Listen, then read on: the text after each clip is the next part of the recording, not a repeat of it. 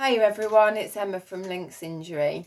Um, just want to speak to you today a little bit about foam rolling. Uh, we've all got a little bit more times on our hands recently and I'm well aware that nobody's getting any hands-on therapy or definitely shouldn't be getting any. If you are um, able to get some at the moment, I'd seriously question the ethics of the therapist you're going to see.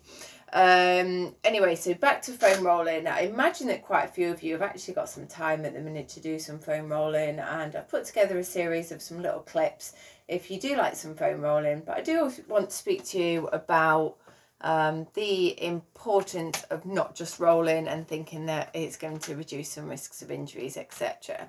Uh, so as runners, exercise enthusiasts, crossfitters, as well as many other sports, it's probably entered the world at some point um, for a, either a warm up or a cool down or both or some injury prevention methods. Um, so today I just want to speak to you about what foam rolling actually does, what's happening to the tissue on a very basic level, um, and, uh, and will foam rolling reduce the risk of injury. So yes, there's some um, good and uncomfortable parts of foam rolling, but what do we believe is actually happening within the body?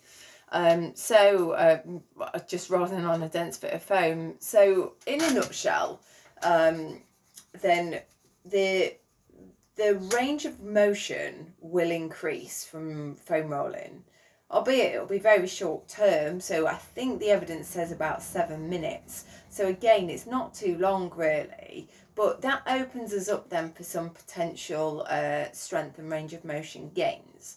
However, with foam rolling, it's not going to get you any strength or visible gains that you can get within your sport um, or, or prevent you from injury. It's just going to open up a range.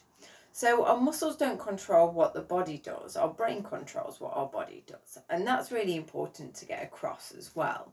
So when we're talking about lengthening the tissue, it's the organs, um, in particular the Golgi tendon organs and the muscle spindles, that have a relationship between themselves to determine how much we can lengthen a muscle before it either has to recontract to protect ourselves or decrease what load we're able to lift to protect itself as well.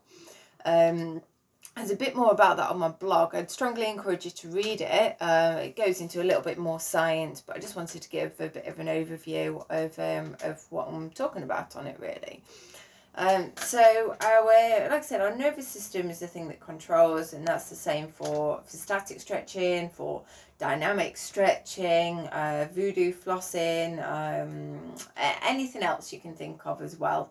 Um, there's loads and loads of little stretching tools, gizmos, gadgets, and bits and bobs out there now. Um, so with all the information I've just gave you, why would you necessarily bother foam rolling? Um, well, as I've said, it matters really what sport you're in as well. So if you're a runner, if you're maybe a cyclist, do you need that much mobility? Are you going to, I don't know, run less, run slower without more mobility? Is opening up some mobility really going to improve your times, your speed?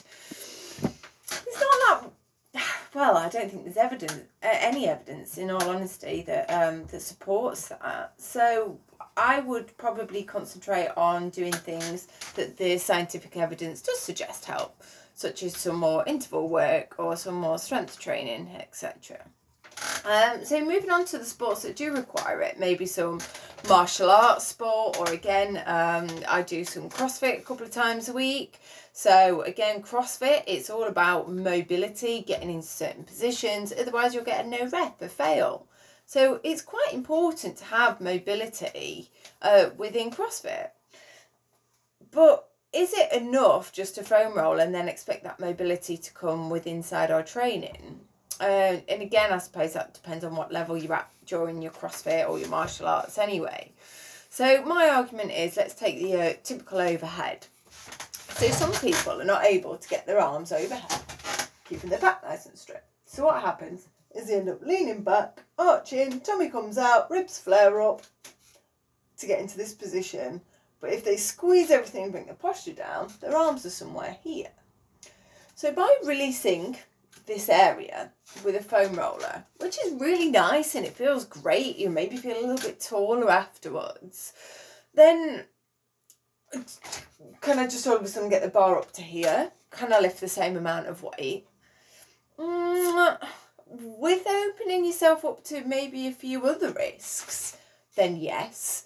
So I'd always recommend um, putting mobility or your foam rolling into a mo- more of a mobility slash accessory session. If you're warming up your thoracic region without reactivating it, you may end up in some damaging ways. So for instance, on a snatch with a wide bar, and I'm coming up.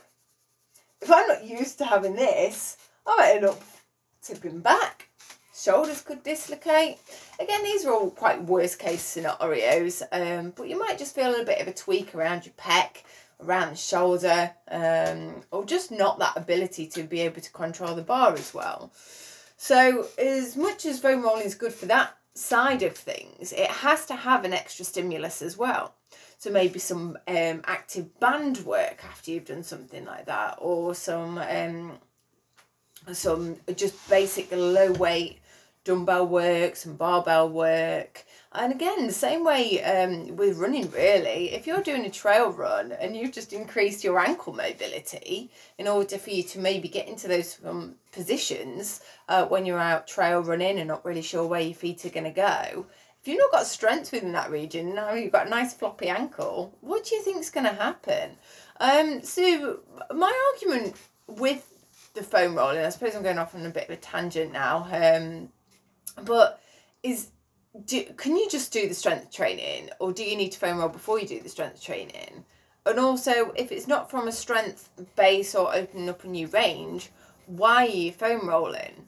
Um, I would say, from a relaxation purposes, if it feels good for you, brilliant and continue to do it. Follow some of the techniques that I've put on a video.